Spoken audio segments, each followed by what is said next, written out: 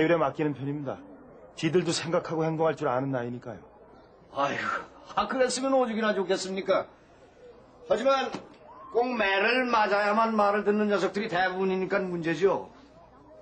제 말 너무 고깝게 듣지 마시고요. 한번 좀 생각을 해보세요. 3반 애들만 저한테 너무 맞는 것 같아서 미안해서 그럽니다.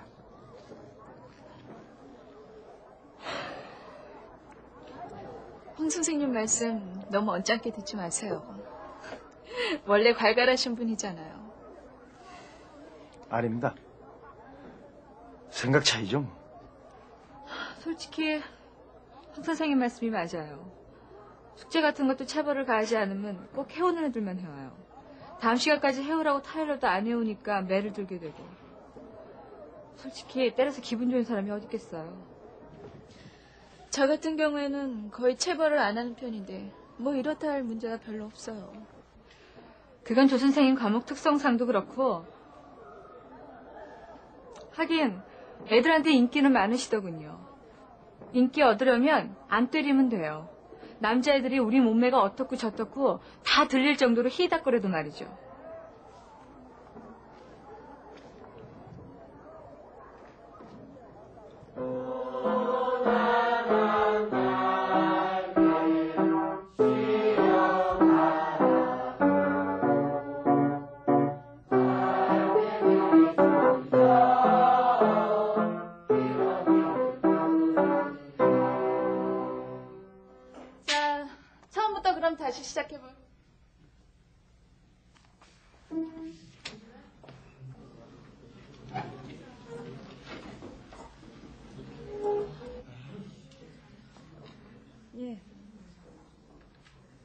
예, 일어나.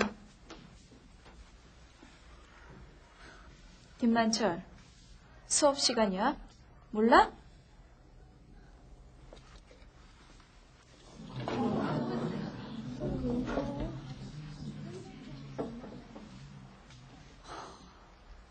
김만철. 선생님 말이 말 같지 않아?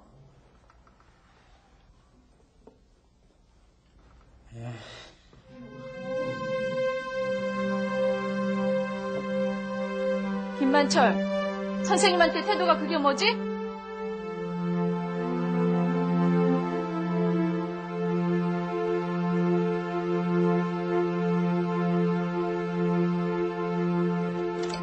그런 싸가지 없는 게 다 있냐? 어떻게 선생님 앞에서 그럴 수가 있어? 음악 선생님 쓰라니까 그냥 넘어갔지? 나라면 반 죽었어. 누가 아니래냐. 그런 자식들은 비 오는 날 먼지 나도록 맞아야 돼. 맞아. 영어 시간 같은 때는 꼼짝도 못하면서 꼭 여선생님 앞에서만 기어올라. 저번에 미술 시간에도 그랬잖아.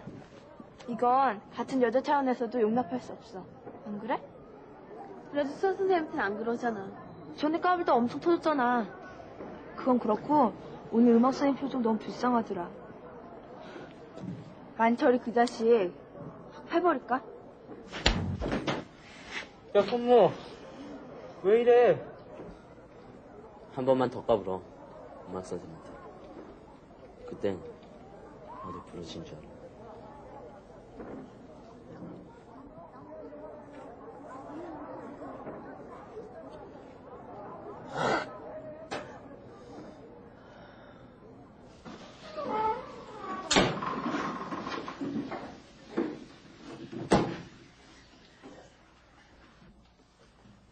텐션! 파우. 그다음부터는 숙제표. 안 해온 사람 없겠지?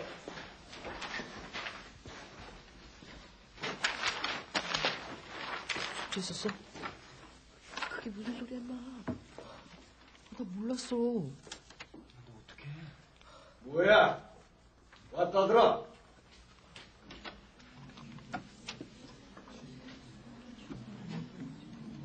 숙제 안 해왔나? 몰랐습니다. 조용히 해, 조용히, 조용히. 이리 나와.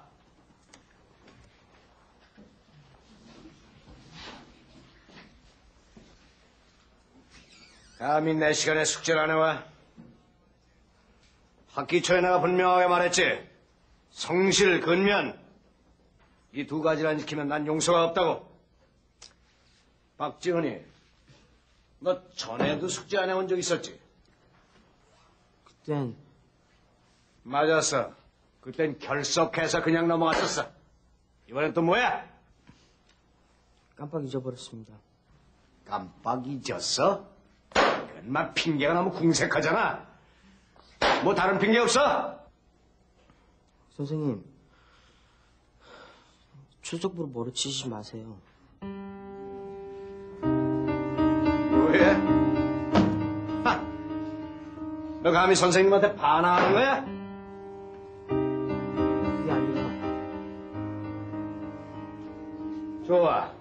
어, 엎드려 보자. 어서! 이번엔 뭐야? 안 맞겠다? 엉덩이에 뭐가 나서 손바닥 때려주세요. 뭐라고? 당장 엎드려 보자. 어서!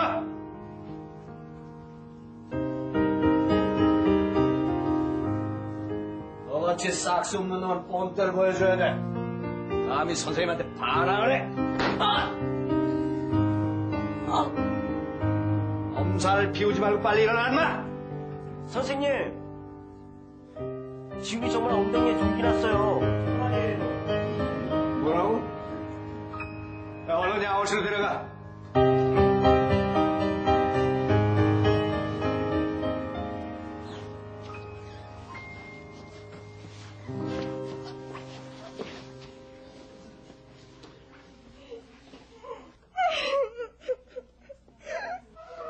아니, 거기 또 뭐야?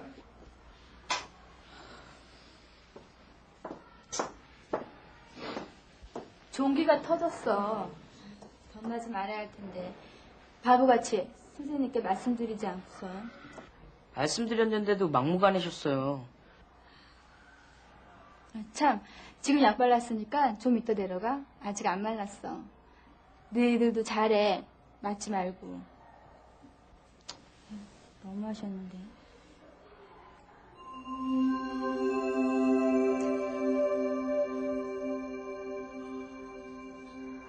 난 무서워서 학교 못 다니겠어. 그렇다고 바보처럼 그렇게 우니? 창피하게. 솔직히 너무했지 뭘 그래. 그래. 어떻게 뭐가 낫다 그러는데도 막무가내로 때릴 수가 있니? 내가 보기엔 다분히 감정적이었어. 맞아. 지훈이가 반항한다고 기분 나빠서 때린 거니까. 그게 무슨 반항이야? 솔직히 우린 자존심도 없냐? 툭하면 막대기로 머리를 저어박질 않나? 출석 부 세워 신경질나게 머리를 치질 않나? 그리고 지훈이가 안 맞겠다고 했냐? 손바닥 때리라고 했잖아. 안 그래? 맞아. 한 번도 말로 하는 거 본 적이 없어. 무조건 때리고 보는 거야. 야,